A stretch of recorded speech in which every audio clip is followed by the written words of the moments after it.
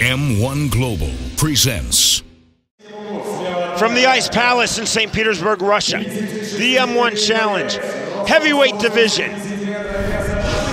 Akhmed Sultanov, fighting in his home country, weighing in at 229 pounds, 27 years old.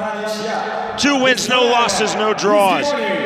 Versus that man, Fuji Katsuhisa from Japan, 35 years old, 242 pounds, eight victories, 13 losses, one draw, Jimmy. Well, he trains with Kazuyuki Fujita, who is a Pride veteran, bull-headed, great wrestler. So I think that's the style we're going to see here. It's pretty much going to be a wrestling match. Sultanov said his background is Greco-Roman wrestling.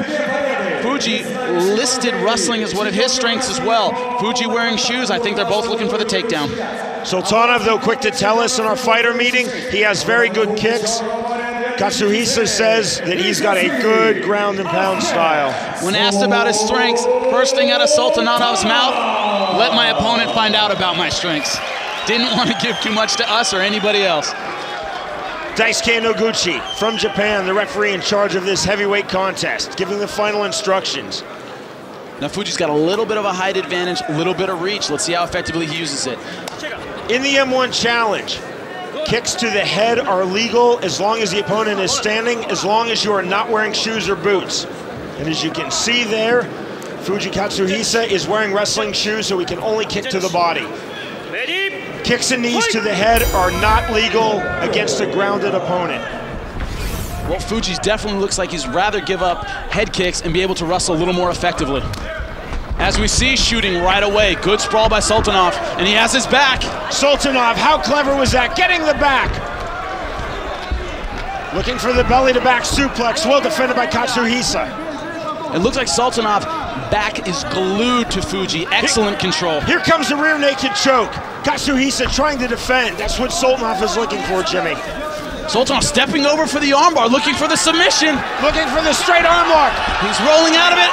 And that's the tap. It's over. Beautiful finish by Sultanov. Transitioning. Excellent, excellent transition from the back to the armbar. Straight almost right away. Beautiful, beautiful technique by Sultanov. Went for the rear naked choke and that slick transition into the straight arm lock. Not often do you see a guy transition that well to the point where the guy can't even grab his arm and resist. That is quick, that is fast, that is a slick, slick transition devastating win for Ahmed Sultanov. Three victories in three MMA fights. Fuji looks like he's in some pain. That looks like a serious, serious armbar.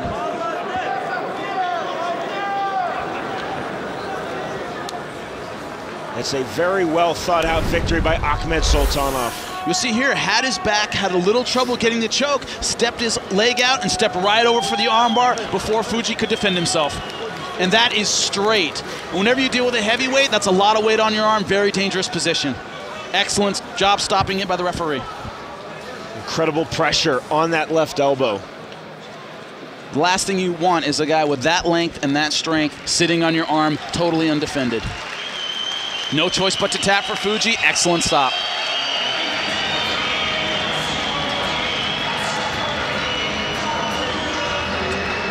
You see the look of pain on Fuji's face. That tap was motivated by some serious, serious power.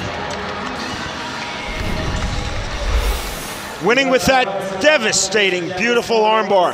Akhmed Sultanov in the first round defeats Fuji Katsuhisa.